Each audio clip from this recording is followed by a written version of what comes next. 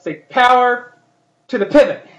Power pivot. To the pivot. Yay. Okay. Power to the pivot. Say it again. Ready? Ready? Start. Power to the pivot. okay, never mind. All right. So hey everyone. Um, this is Brandon back over here again. Got my son. So just playing around. Um, but let's talk about something really big today. Um, power view. Right. No And what's happened, guys, is that this self-service BI thing is just taken off. All right. And if you want to learn Power View and you want to learn what it is, that's the purpose of this video. So I'm back in whatever else. Now, I'm an old school BI architect, believe it or not. No one ever believes that, but I told you. Um, have implemented many, many projects for many, many companies. And it took years to develop that knowledge.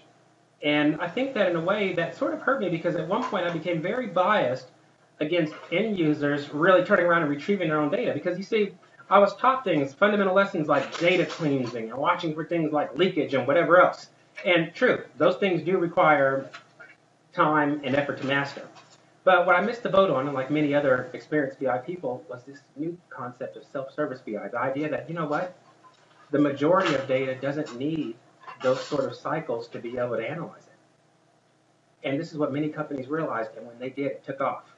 Um, Power View is Microsoft's implementation of self-service BI. Whenever you think of self-service, think of Power View as one. So the purpose of this tutorial, guys, is to go ahead and show you Power View in action, to go ahead and see it, and to really be able to see the script. Now, this is my emergency tutorial, so I'm doing this a little bit earlier than finishing up the SSRS Report Builder um, series, just because this is one of those 2012 things that is new, here, and now. So, guys, let's get started. Let's see what this Power View is and why it's such a big deal. Um, it is single-handedly put Microsoft on the map as a self-service BI player, and we'll see why now. Hope you guys love it again. Should have fun. Hayden, say bye. Okay, he says bye instead of his choice. All right, see you guys. see you soon. Look, look forward to this. Woo! So here we go. All right. So guys, this is Power View now, right? And this is really nice. And if you've been following any of my tutorials so far, you know that I'm a big stickler for a couple things. Number one, I want you to be able to do every single lab on your own also, because trust me, learning is doing, not just watching, not when it comes to this sort of stuff. So what I've done um, is once again, I've chosen one of the tutorials with Microsoft over here, slightly altered though. I'll alter just a few steps, but I'll be very clear on those steps so everyone can know it. Um, this is the power, the sample Power View report that Microsoft has. Excellent tutorial on how to use Power View. Definitely, I like it a lot. I'll talk about, um, I'll define various things within this report so that you can understand them. I'll also talk about um, things that you don't want to do that you might see in the report, but are still very good, good tools for being able to learn how the report works. So, standard report, sample report and Power View. Um, you can download samples, and what you want to do is you're going to want to download the samples from Microsoft over here called the Hello World Picnic samples. So you can download those right off the bat. Just Google them, and you'll get them over there. So remember, your steps are over here to go back afterwards, right over, um, as you guys can tell, right over here in this link. So that's going to be our first helpful part. Okay, now understanding what Power View is and what it isn't right now, because it's things are changing. So when do you use Power View and when do you don't? When do you don't? That's not even a good term, but oh well. All right, here we go. Power View. This was meant for self service BI.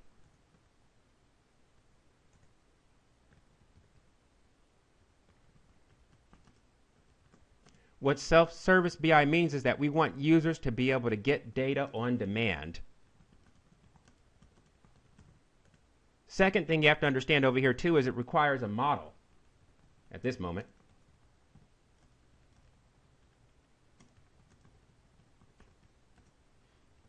Model is a fancy word for some oh, representation of data. Sometimes a model can be, for example, a single table. Sometimes it can be multiple tables that are connected together. It depends, but some representation of tables. Now, you should understand something right off the bat, too. Um, whenever I say model and things like that, you know, it's probably one of the biggest things that typically intimidates people in classrooms and things like that, right? Especially if they're brand new. Now, if they're not brand new, no. But people who are brand new that come from business backgrounds or whatever else, when I say, okay, now you need to be able to make a model or something, suddenly people get real scared. But let me tell you, it's not that difficult. By the end of class, I can usually see people running with it, flowing with it, and loving it. So don't get scared of a term like this or whatever else because trust me, I have taught many people, many, many people who walked in there scared as they can be and left pretty happy. So model very important over there. Why? Because you see, the real idea behind this is this. If you do it right, someone can do the equivalent of producing, say, hundreds of reports on demand without any code. Yes, that's true. That's the dynamic ability. Right there's the money shot that I want you guys to see. Someone could turn around off each model usually and produce hundreds of reports without any code if done correctly. That's the power right there. And as opposed to SSRS, where you have to have a person, you know, um, inside the standard reports we're doing, where someone has to come in and actually create a report at the beginning, and you know, someone has to make a static report. This is all about dynamic reports. So someone does not have to pre-create the report on demand. Um, what I'm trying to say is, as you guys will see inside this demo, someone can come in and they can actually produce any sort of report on the on the fly rather than having to go ahead and actually create a report in the background, a traditional static report. Now, both reports have advantages and disadvantages. You guys will see over here, this does not replace Report Builder or Visual Studio or or SQL Server Designer, um, SQL Server Data Tools, or Business Intelligence Development Studio, whatever you want to, um, whichever version of SQL you're using. It doesn't replace that. Um, for static reports, that means reports that needed to be pre-designed, like we check the daily this, this, this, this, this. This is still going to be most appropriate.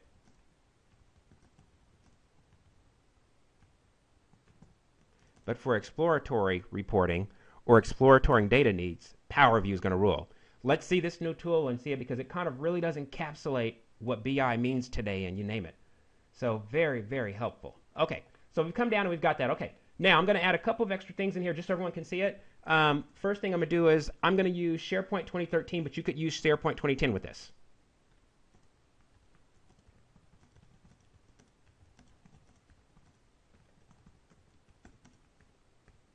I'm also going to use Excel 2013, but the tutorial was written for 2010.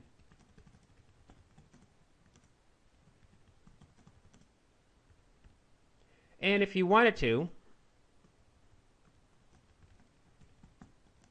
you can use Power View without SharePoint.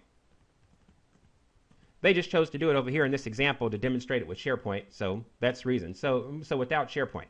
So those of you who might just have a copy of, say, SQL, maybe you download a, a version of SQL or something like that, and you've got Excel, you could also do it that way too. Um, but here I'm gonna do it though with SharePoint just for these, just for this example. And if you don't have SharePoint,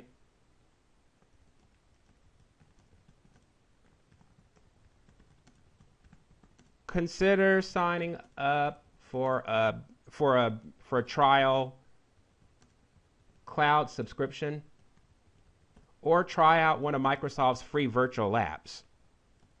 Sometimes, though, those may not actually have the files that you need, but um, that could help.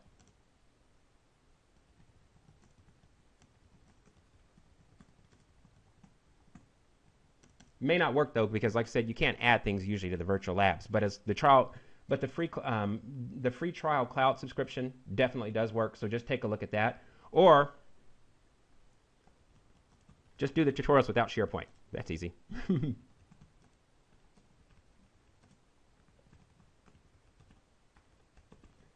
okay, so you guys got it now. SharePoint 2010 or SharePoint 2013. Excel 2010 or SharePoint, or, or I'm sorry, Excel 2013. And then we also, and, and then you also can see the link right over here. So just search that or whatever else. Search for the um, search for the Power View sample report, and that's going to be the link that we're going to be basing most of this on. Now remember, there are a lot of important things I'm going to tell you that you're going to need to see that are not included within that tutorial. Um, the, um, so please keep that in mind because there's things I need to I need to definitely explain so that we don't make certain mistakes as we begin to use self-service BI because it's powerful. But like anything else, it can be misused. All right. So got all that down over there. Now I'm gonna I'm gonna prep this at the very beginning to show everyone. Um, I'm gonna go ahead and prep my SharePoint 2013 for this particular um, tutorial. So let me go ahead and do that just to demonstrate, and I wait it for everyone here. And what I'm gonna do first is I'm gonna come up to my home page over here. Now I've got SharePoint working. If you guys remember in earlier tutorials, I did not have SharePoint completely working. Um, and what I'm going to do first is I'm going to go ahead and add an app, client, little client-side running type version, right? Now that we've got on things, which makes our SharePoint, um, which makes our SharePoint programming much more, AKA extensible, so we can integrate it much easier with other apps and other types of, you know, platforms. And I'm to come down over here and I'm to click on just standard document library. Now I could have used a number of libraries actually, but standard document library, and it wanted us to give it a name. I'm going to give it a name over here of Power View demonstration. So that's a that's a little that's a little bit different. It's a slight lab difference uh, over there. They named it Hello World, you name it, but I'm gonna call it Power View demonstration. So just keep that in mind. That's a slight difference Brandon's making, right there. Okay, now, once I have Power View demonstration, oh, that was too long. Look at that, the N over there, but oh well. Once I've got Power, Power View demonstration over here, what I'm going to do next is I need to prep it to be able to take in, um, to be able to run SQL Server reporting data.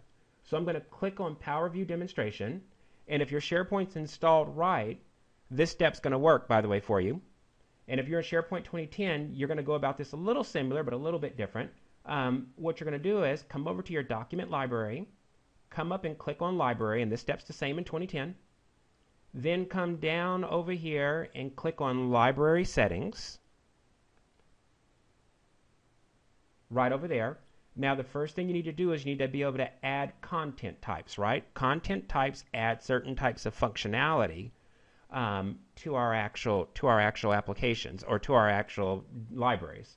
So what you do, and this is the same in SharePoint 2010, is you click on Advanced Settings Allow management of content types, of course, yes. Come down over here and click OK. Okay, excellent. Now, once you actually get that clicked on, come down, down, down, down, down, and you're going to see these content types right over here. All right, for content types, what you want to do is click on Add from Existing um, add from existing site content types. So you're going to give it some new functionality. Okay?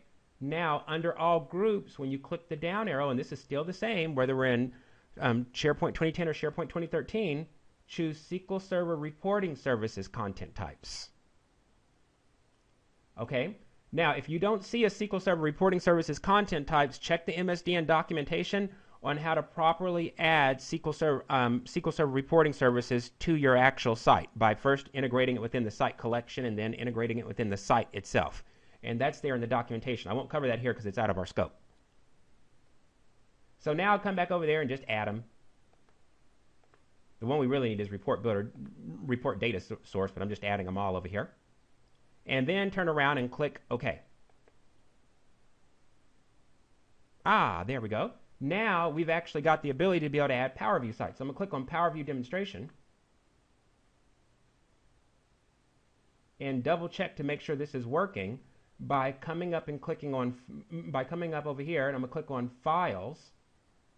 And when I go down to New Document, notice over here all these report builder type things, including report data source. So report builder model, report builder report, which we've been working in extensively. And then bam, there's report data source, which we're going to be needing. Okay, before we do that, though, we need to prep this project to actually work and make some and do some steps. Otherwise, we get some funny caching issues and things like that. So first thing I'm going to do is if you're running SharePoint 2013, you'll need to do this with me. Um, first, you need to find the Microsoft samples right over there. So these are the Hello Picnic samples right over there. You guys can see them. Um, you can download those right off of Microsoft for free. Just Google Hello Picnic samples. Or,